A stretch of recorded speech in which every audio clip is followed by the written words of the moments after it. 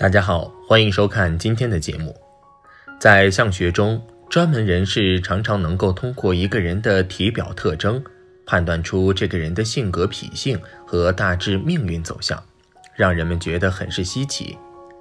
事实上，所谓的天师于人，有征于表，就是这个意思。只要掌握了其中规律，任何人都能够从中窥得一二。相学又分为手相、面相等小的分支，其中手相就是我们最常接触到的一门学问。通过手相，我们常常能够判断出一个人现在的处境如何，以及眼光的高低，从而判断这个人现在的心态如何，以及他们究竟能不能成器等。今天大佬在这里就给大家对比介绍一下。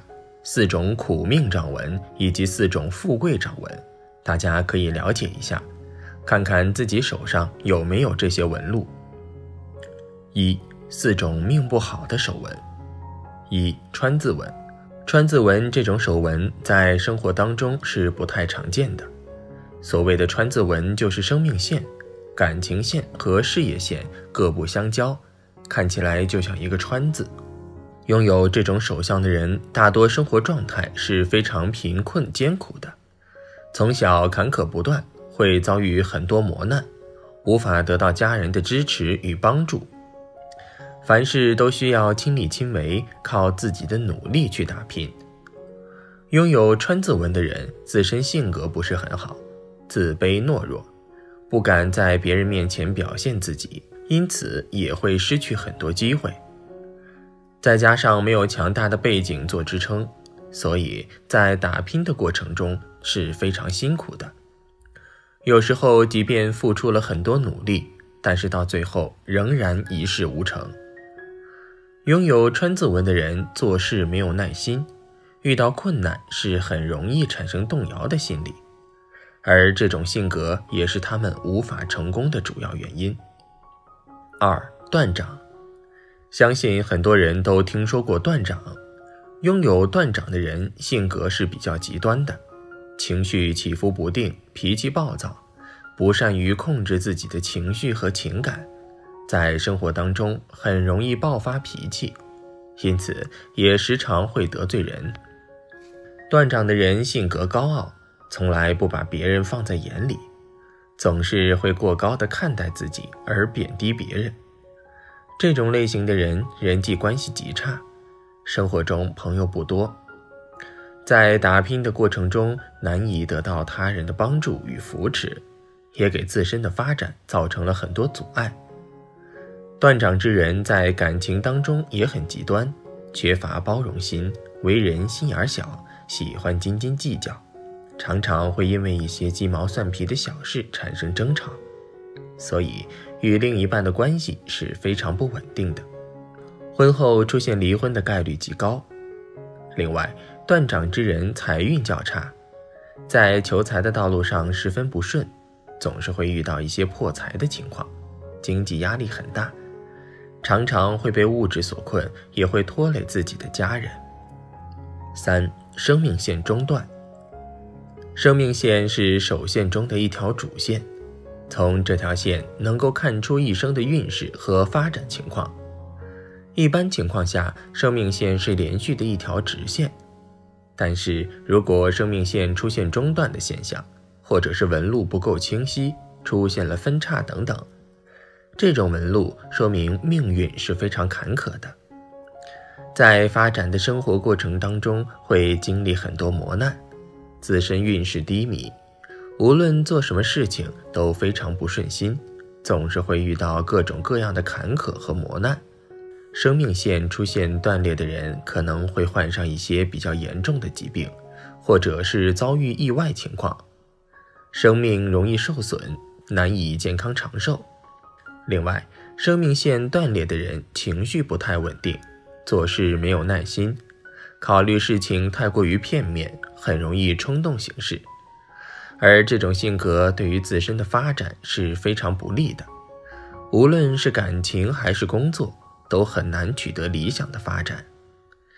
生命线中断的人命运非常坎坷，一生当中多灾多难，会遇到很多让人烦心的事情，尤其到了中晚年时期，晚景非常凄凉。四漏财纹，如果手相中有漏财纹的话，说明财富运势是非常差的。这种类型的人本身赚钱能力并不差，但是在生活当中总是会有很多不必要的开销。也会因为听信他人或者是缺乏主见而导致财富流失，在金钱方面会有很大的亏损。有漏财纹的人守财能力是比较弱的，花钱大手大脚，不懂得节制，没有理财观念，所以即使家业再大，到了他们手中也会逐渐衰败。二四种大富大贵、一生发达的好手相。一巽区隆起。首先，我们要先了解手相怎么看。一般而言，看手相要分男性、女性，男性多看左手，而女性多看右手。而后，我们要把整个手掌分为乾、坤、震、坎、艮、巽、离、兑和明堂九个区域。其中，巽区指的是在食指正对应下部分。在生命线和智慧线交错的上方，共同所构成的区域，这个区域如果饱满有肉，就叫做巽居隆起，是事业风头之位。越是饱满，代表这个人越是沉稳，能够出成就。所以，巽居隆起的人一般事业运和财运都很好，懂得收敛锋芒，韬光养晦，然后一举成功。中年过后就是大富大贵的人生。二有元宝纹，其次手相中有元宝纹的人也是能够大富大贵的。在手相中，元宝纹本身代表的事物很直白，就是此人能够发财。加之有元宝纹的人一般都是从小就生在生活环境比较好的家庭，衣食无忧，从来不会为了钱烦恼。在这样的背景下，他们也都会受到良好的教育，不会因为蝇头小利丢掉自己的原则和信仰，眼光也十分高。长大之后一路畅行，不但赚钱的机会很多，身边的朋友也都是同样富贵的人，所以注定了富贵命。三有凤眼纹，除了前文所述的两种手相以外，还有一种比较少见的手相。那就是凤眼纹，有凤眼纹的人通常也能够大富大贵，但是理由却有些特殊。手相中大拇指的指纹上，如果有一个闭合的圈形纹路和其他指纹不相接，那就是凤眼纹。有凤眼纹的人通常都是很温柔，但是又比较会算计的人，没有很大的野心。但是事事求一个恰到好处，一般都能够娶一个或者嫁一个好对象，且爱人会比较有钱又很专一，所以有凤眼纹的人通常会在后半辈子被伴侣宠爱，二人过上幸福而富贵的生活。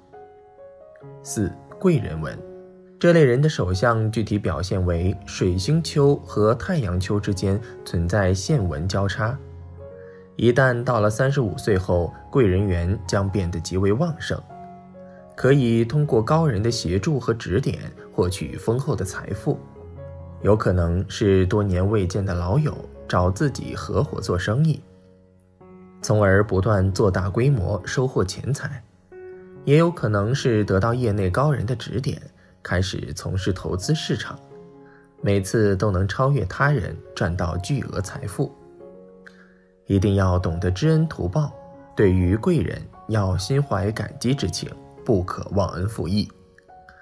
手相只是相学的一部分，相学只是算命的一部分，算命只是人生学问的一部分。